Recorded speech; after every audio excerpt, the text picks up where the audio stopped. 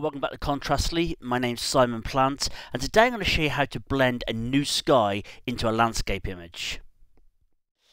Well, today we're going to show you how to uh, replace a sky in an image um, without going to very uh, intricate masking techniques. And uh, this image, I've actually lightened this one in the sky area a little bit for demonstration purposes. But let's say that um, I've got this image and I like it, but I really wanted a few more clouds in the sky. Well, we're going to replace the sky that's already there with another image of a sky, um, but we're going to do it in a way that doesn't mean we've got to spend hours and hours making really complex masks. Now, my first tip today if you do a lot of landscape photography and you know you're getting a little bit handy in Photoshop and stuff, you may be worth you photographing various different skies. If you come across a nice sky and you think, oh, that looks nice, take some pictures of it uh, at different focal lengths and keep them on one side of your archive because you know they can come in useful later on. And I've got a huge amount of images just of skies because I always know that at some point I'm going to need a certain look to an image and I can go into my archives and find something a sky that fits that particular image. Now in this case the first thing you want to be looking at is the light. We don't want to bring a sky in to this image where the lighting is coming from a completely different direction okay? So we have to consider that.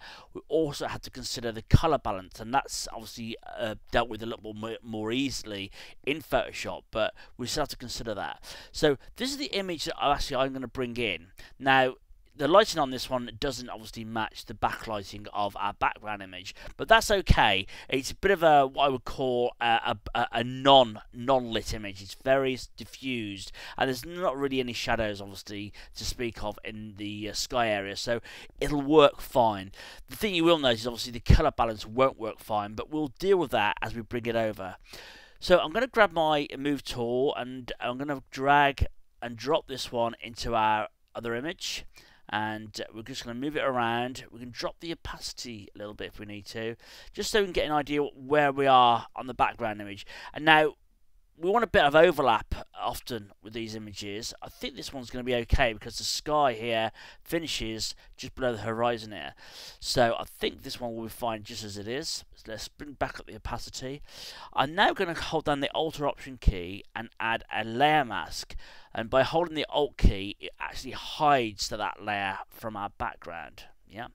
So now we can obviously start to reveal some of that sky. And we're going to do that with a gradient tool, we want to click on the gradients. We want foreground are transparent, which is normally the second one. And we want to make sure that the ab gradient is on this fourth one, uh, sorry, on the first one, linear gradient. So let's just move that one. So it's linear gradient. We're going to hold down the, sh the uh, shift key and drag. And what I should do You've got to bear in mind you've got to have white in the foreground. White reveals, black conceals. So that was wrong. So let's go back and make sure the white's in the foreground. Hold down the shift key and then just drag down.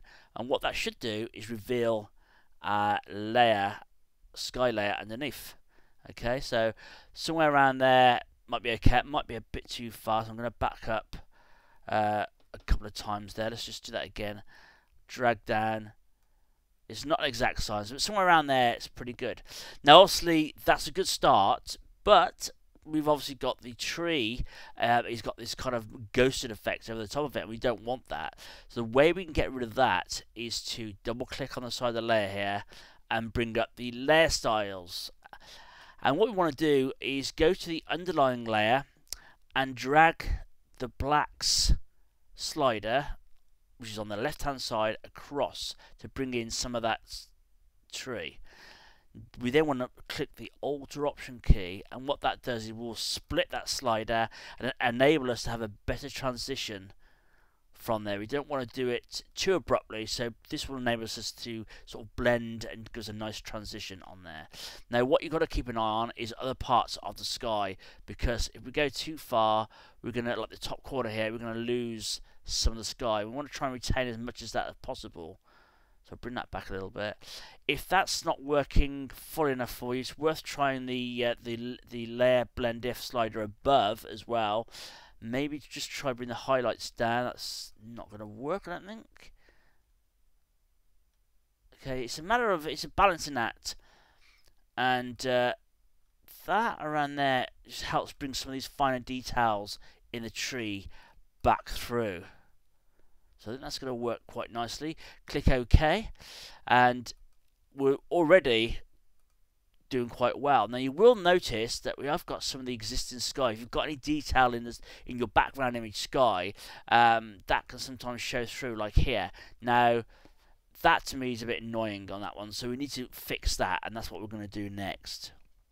Now, one thing I just realised um, when I was showing you the gradient, um, I didn't point out the reason we hold down the shift key when we use gradient is it just constrains it. So I'm just going to take you back over that again because I'd like you to be completely clear on what I'm actually telling you and I missed that bit out so I apologize. So I'm going to go back to the hiding of the layer I'm going to add the hold get the gradient which is again it's set to foreground to background uh, to transparent sorry which is the second one uh, and the actual gradient we want is the first one uh, here okay and uh, we're going to hold down the shift key and the reason we do that if I don't hold down the shift key I've got white in the foreground to reveal if I don't hold down the shift key we can go off at funny angles like so and we don't want that. So uh, I should have explained that and I, forgot to mention it. So hold down the shift key and that constrains it nice and straight and we're going to drag down around there okay? So we're back where we started from. Just wanted to point that out to you. So what we're going to do now is to get rid of this annoying uh, little bit of uh, existing sky in the background. Now if you watch my videos on Contrastly, the last one we did, which is February 2015, um, we did a, a short video on retouching a gradient sky because um, when you want to take elements out of a, of a sky like this one on the screen now, cloning can be very difficult because you've got uh, lots of uh, tones graduating quite quickly. So a one-way round, and I've you know be worth you going to back to watch that video. Um, so what we're going to do now is do the same thing we did in the last video, where we did the painting effect. I'm going to turn this one on and off quickly to see what's coming through and it's so it's this bit here so I'm going to add an empty layer above our background layer I'm going to get a paintbrush tool. I'm going to make sure that it's nice and soft and quite large. Um, maybe not that large. Bring it down a bit. I'm going to Alt or Option click to sample different parts of the existing sky. I'm going to bring my make sure my flow's down quite low, maybe around 10%. I'm just going to slowly build up and cover up the existing uh, this existing bit of sky here. And because we can keep sampling from areas right next to it, we can get quite a nice, we should be able to get quite a nice blend just to cover over. It doesn't have to be perfect with this because we are going to be putting the sky across, but we're going to make it, just blend it so it's not so noticeable. Okay. So just keep sampling and brushing over. Now, put that back on, you can see already that's done a perfect job. If I just take that away, you can see that sky underneath. And now we managed to blend it. You can keep this layout active if you need to. I'm just going to come in, just blend this background a little bit more up here. Like so. That's looking pretty good. So there's a very quick way of just solving that little bit of a problem there. And it doesn't matter if it doesn't blend in exact because we've got this sky going over the top. So we're just trying to hide any imperfections there and that's worked quite well. So that's that taken care of. We're going to now add an adjustment layer on top of this and clip it and try and just blend the colours in better because at the moment the image is doing okay but it doesn't really match. The blues are just too vibrant to match the background. So my next job, as I said, is to make sure that the exposures uh, and uh, blend uh, sky with the background, and which I think I'm not going to be too far off on this one, uh, but also uh, more importantly, get the colours to match a little bit better. As I said a minute ago, this blue sky just doesn't fit in with this sunset, so we need to warm it up. So we're going to add a new adjustment layer. layer. Now you can use colour balance or you could use curves. I'm going to use curves because I quite like using curves for adjusting colour. Um, we're going to bring this up. I'm going to click on the RGB and click on the reds. Now what I'm trying to do here, as I said, take out some of the blue a little bit and add a little bit more warmth uh, and uh, maybe some bit, bit of red as well. So we're going to raise the red up in this image like so. Now what I should do before that actually, which will, be, will help, is now we've recreated this curves adjustment layer, I'm going to uh, right click on the layer and create clipping mask. What that means is it will only affect our sky underneath, not the whole image, and that's going to help us, you know, obviously um, blend it in better because if it's affecting everything, it's going to affect the background as well, and we don't want it to. So that's clipping it. Let's click back on. So again, go to red, and we can uh, the red uh, red channel, and we're going to raise this to add more red into the sky. You can see that's changing now. I'm going to back off a little bit and also the blue. I want to lower the blue channel to add some yellow into the sky, and that's uh, that's looking pretty good. It's just taking some of that uh, that real vibrant blue out of the image. And that's pretty good, like so. So that's something. If um if you find still not quite um enough, you could come in and add a uh, photo filter over the top. Again, you want to make this sure that this is a clipping mask. Oops. And to do that, you just need to right click and go to create clipping mask and again that's just going to affect the sky nothing else and then you could add a little bit more warmth to the uh, to the sky using a photo filter and there's uh, several warming ones there so just toggle through and find the one that you think is going to work the best let's just try this first one and that actually just adds that little bit more. Again, it's mainly the blues I'm concerned with. I'm not too worried about the highlights as much, but that's just helping just sell sell the image that bit more. So it's always worth using that just to help a little bit if you need to. Now I've noticed another small issue down here with the with the uh, background with the sky. It it tailors off and goes quite dark. We don't want that, so I'm going to add another layer above the background layer. Um, let me just rename this one. Uh, paint out cloud. That's the one where we painted out the uh, cloud that's in the uh, in the background there up here. And this one we're going to call uh, paint lower sky. You know, you don't have to name your layers, but I do find if you start working through a, real big image, it, you later on, uh, after an hour or so, you'll uh, wish you had. It just makes it a little bit easier.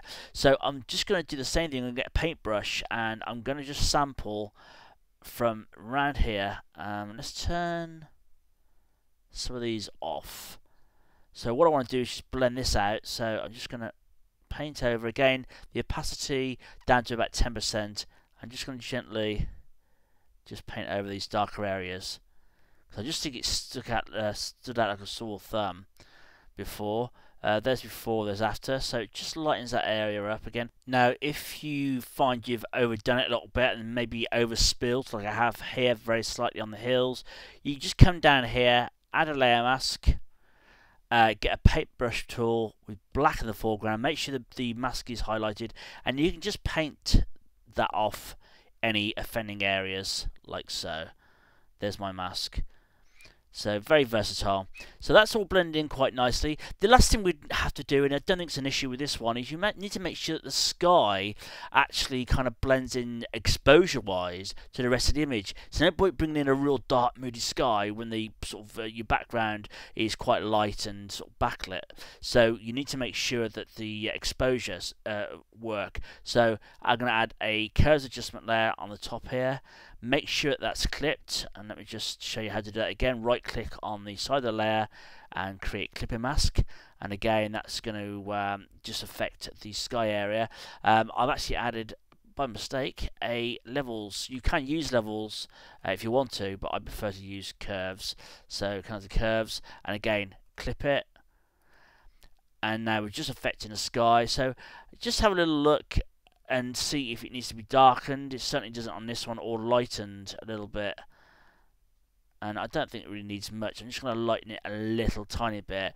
Just be careful, as I said, not to make sure you're not clipping the image too much. But I actually think that's not looking too shabby at all. So let me just um, let me just lock these together. In fact, it's always worth just highlighting the whole lot and just make sure they're locked in case you knock anything and it uh, moves. And then we're going to uh, click on Command and Control G to create a group. And we'll call this one uh, Retouch. And then here's before. Not a bad looking image And here's after just changes the the look. Skies are so important for the look of an image. They can really uh, really uh, make or break a landscape. Um, I do think skies are probably one of the most important elements uh, of a landscape picture. So it is quite important that the uh, the sky looks good.